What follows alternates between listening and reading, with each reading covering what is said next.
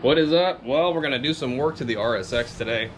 I'm gonna knock out a bunch of things on it real quick before we get started on lowering it. I'm gonna be lowering it on some uh, Tein coilovers later on. In the next video after this, should be real fun. Um, it won't be a GoPro video like this. Uh, this one is just, I need to get this work done on this car first, and then we're gonna lower it. So basically today, we're gonna knock out this little gasket that's on the head behind the power steering pump, and gonna do an AC compressor uh, if you check out my last video, I went ahead and diagnosed the AC system, and actually the compressor clutch was on his way out, but went ahead and got a whole new compressor.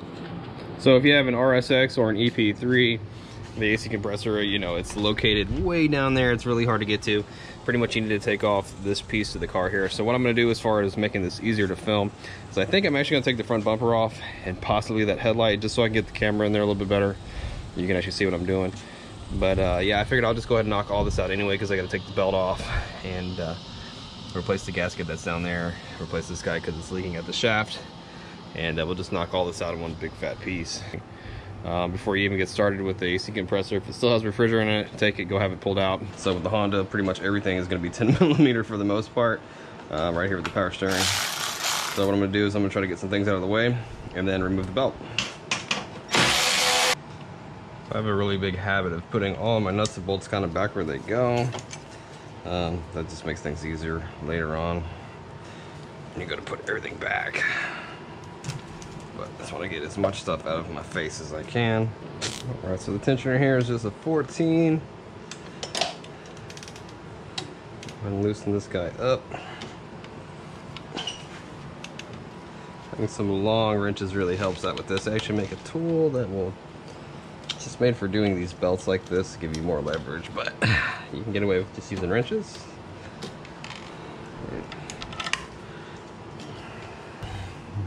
When we're looking at the power steering pump, we're looking at some 12 millimeter bolts right here.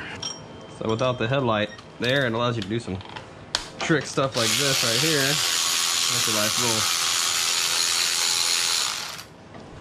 simpler.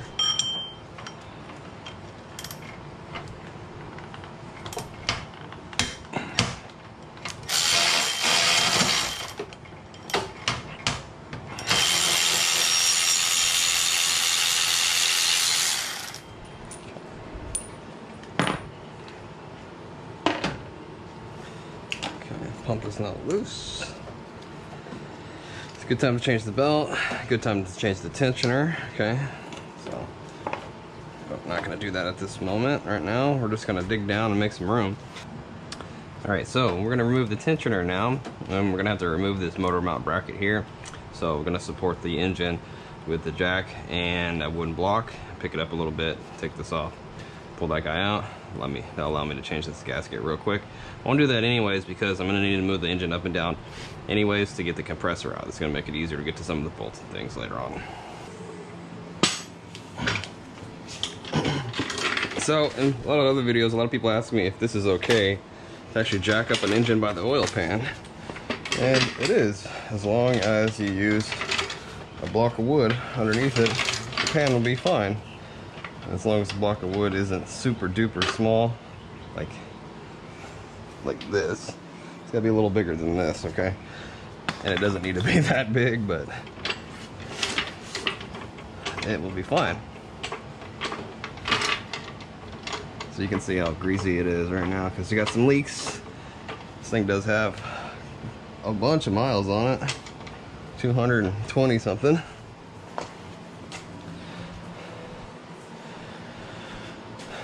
All right, go ahead and remove this guy.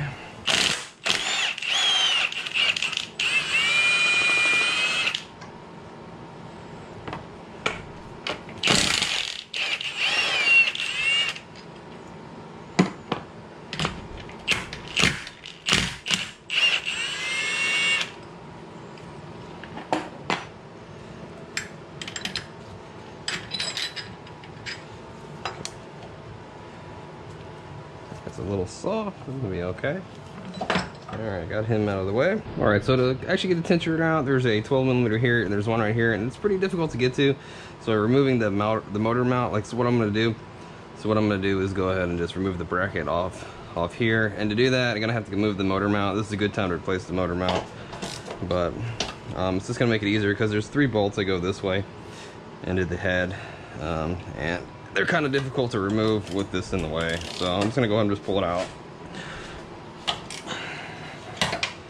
Just to make it easier.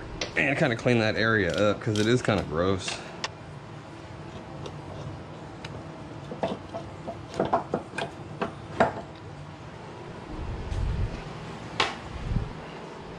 Don't want to sit on that. All right, so now, so now I'm gonna go ahead and get to the 12 millimeter that's down here underneath tensioner.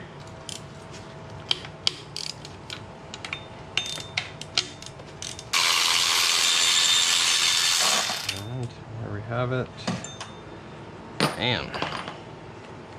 Tensioner should come right out. Bam, there we go. All right, so since I'm here, I'm gonna go ahead and replace the gasket here. Because what happens is it's this leaking. It's going that way, it's going this way, two 10 millimeters. All right, so you can see that it has a little bit of debris. There's a little bit of debris up in here, that's good. This thing's, that's what it's made to do, is filter out any debris that can get into the head or into the VTEC uh, system. Um, but what happens is why this actually leaks is because this rubber gets hard after time, and this car being as old as it is, it's definitely time for all the rubber to start taking a dump and start leaking everywhere. But basically, it just gets hard and it shrinks, and then you end up with leaks everywhere. And this is just one of them. Now you can also get a check engine light from this filter here if it gets filled up and the flow of oil um, gets impeded. I'll throw a check engine light. So these gaskets usually come in a three-piece set where you get this guy, VTEC solenoid, and the pressure switch solenoid. They're like $8 for the whole thing, $6. I'll leave a link down in the description box. Um, not really a big deal. But there we go. All right, no RTV, no none of that. Go right back on there, nice and clean. And I'm just gonna go a little hand tight with it and it will be good to go.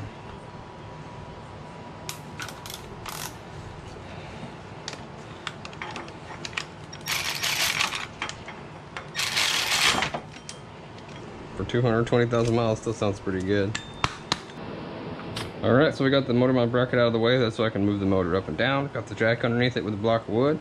Um, that's gonna allow me to get to the bolts down there for the compressor pretty easily. Gonna go ahead and loosen this guy up. We just have to loosen it. We don't have to, don't have to totally take it off. Need to get rid of the coolant bottle. These are just 10s. Everything's 10s.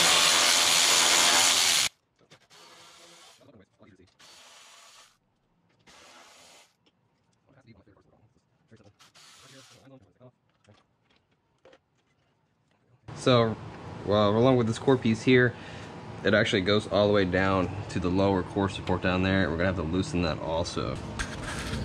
So if you look right here, there's this 10 millimeter here.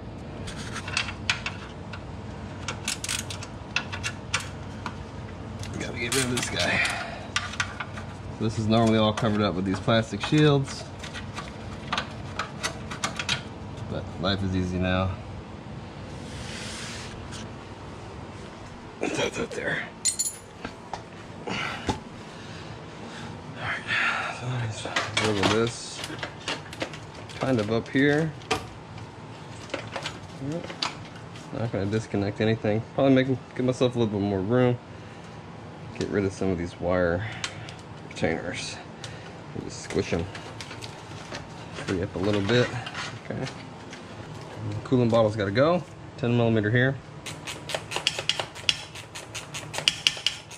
So we got one here, disconnect the line, and then we got one really crappy one that's down at the bottom, at the very bottom of the bottle down here.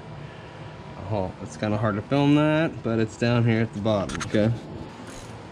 Having some type of flexible ratchet will definitely make things a little easier. And again, me taking the headlight out, I'm able to do things like this right here. Stick my hand in there, and it's really easy actually just to take the headlight out. Um, you don't risk the chance of scratching it like that or scratching the bumper if you just remove it. It gives you a chance to clean anything, replace anything that needs to. Um, and it makes things actually, you know, it might seem like you're doing more work, but you're not struggling nearly as hard. So yeah, it's just working with technicians. I've seen them just completely not want to take things apart.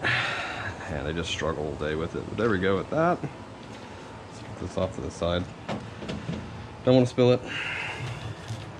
Now we can actually just remove the fan and this will give us even more room.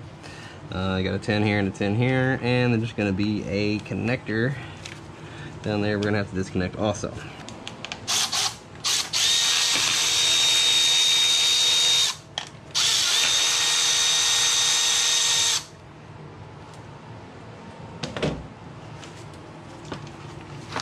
So if we look, the connector, oh, this came undone. it was actually it was barely even hanging on for some reason down there. Someone's already been on there, but there is a connector down there. There we go. This is what it looks like here. There's the plug at the bottom right there. And there's a little retainer for the compressor uh, harness right there that you're gonna have to mess with. All right, so now look down there, you got both compressor lines here, low side and the high side, and the fittings on the compressor. It's gonna be some 10 millimeters. We're gonna go ahead and take those off and um, move the lines out of the way. Just be careful because there will be some oil coming out of it. So this thing's gonna start getting kind of messy.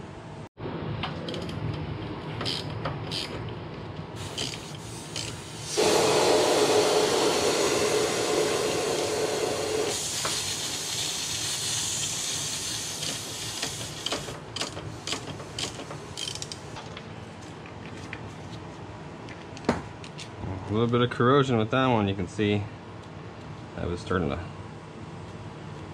kind of cross thread that guy. I'm gonna have to fix this.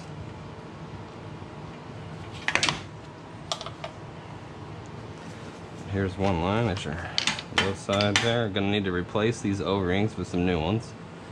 Some some some compressors come with them, some of them don't. Go with that one. Same thing here, there's an O-ring here. You're gonna replace that one, you have to. All right, all right, so this is what we're looking at down there. You got the low side port and the high side port. These are just plugs in here. You got the plug here for the coil. All right, looking good, looking good. But what holds this against the motor is you have some bolts here and bolts here, okay? And we can actually see from the top, we can see these two right here. They're right there. Don't do these first. Let's do the bottom ones first and then go after these. You always want to do the hardest ones first, okay? If we take these out and then go after these, uh, the weight of the compressor is gonna make it more difficult under the car to get these out. So, start at the bottom and go to the top. All right, so under the car, the compressor right here, the bolts at the bottom will actually run right into the subframe. So what we're gonna do is we're gonna jack up the motor enough to where the bolts, uh, we can get to the bolts a little bit easier. Um, it's pretty much a must, okay?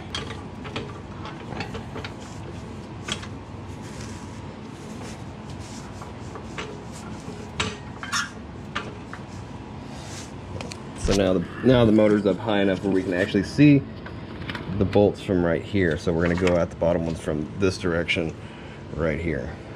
All right, you're gonna need an extension and 12 millimeter. This one's just caked with oil and grease and dirt.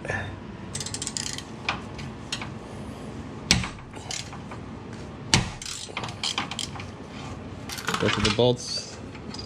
That one will come out. This one right here won't come out all the way. So you loosen it all up.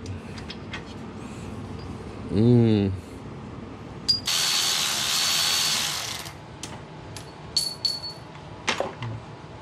We can just pull this sucker right out.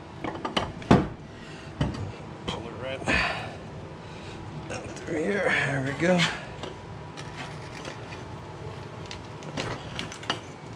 There we go. This is the old yucky one. All right, there we go. Check it out. Brand new one, old one. Slap this guy back in there real quick. All right, so gonna get this guy. We're gonna stick this bottom one in now because it's kind of difficult to do back there. The one that's closer to the pulley here. Work our way down there. Just try not to pop the radiator open. And again, not having the bumper and stuff makes things a little easier. Get her kind of close, put the bolts in. gonna get all four of these guys in here nice and loose, get them started, and then tighten them all down. But you want them loose so you can kind of adjust the compressor around, especially if it's aftermarket, because it's not gonna be exactly the same as your factory one. So there's a little bit of difference with aftermarket. All right, so in the beginning of the video, I really didn't go over the clutch harness here, but it's just connected. It's actually disconnected right there at the bottom. You can get to it from underneath the car. Uh, sorry about that. But next step is to go ahead and replace the O-rings on the lines right here. O-ring kit, uh, not too expensive. I think these are like 10 bucks and you get every single O-ring you're ever gonna need to do AC work or any type of seals, any type of hydraulic work. We got it right. Now when we put one of these new ones on here, I'm gonna take some PAG oil and we're gonna put it on the seal. So when we put it back on the compressor, it doesn't rip it. That's a must. Uh, before we do that, um, a lot of times with new compressors, they don't have any oil in them. You're gonna wanna put some PAG oil in it. Uh, I don't really know how much this one calls for, but you don't have to do this step if you're taking your car to have the refrigerant put back into the system, okay, if you take it somewhere, because they're gonna evacuate it again, they're gonna run a vacuum on it, and you just need to tell them that you didn't put any oil in the compressor, that you need to put oil in the compressor, and their machine that they're using will inject it in there, and they'll inject the right amount, and they'll inject the right amount of refrigerant also. But if you're not gonna do that, if you're gonna do it yourself, you have the stuff to kind of do it yourself, where you're gonna wanna go ahead and just pour some uh, some oil right down the compressor and at least get some in there. Okay, the system does have oil in it, but you're gonna wanna put some in the compressor if you're charging it yourself.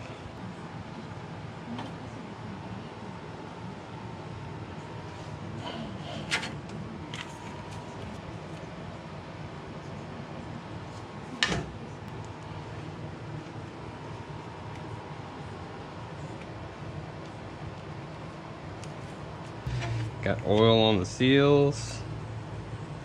All right, well I got most of it all back together, still have the front bumper on there. But I do have a vacuum pump and a set of gauges. Right now I'm pulling some vacuum on it and checking for leaks. What the vacuum does, it actually removes any moisture from the system. Uh, the system automatically starts drawing in moisture as soon as you open it up. Go and turn that off real quick.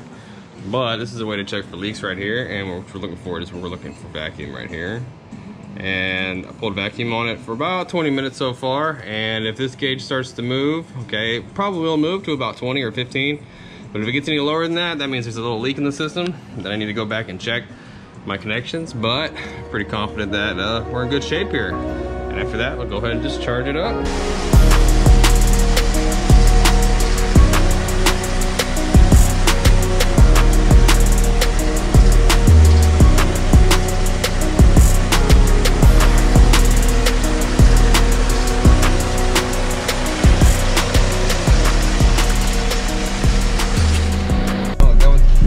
Looks like we're getting around 55 degrees. It'll get a little bit cooler as we drive it around. But man, this is perfect timing because it's the middle of summer and it's super hot. It's nice to have working air conditioner again. But yeah, Acura's coming out good. All right, let's go take this thing for a test drive.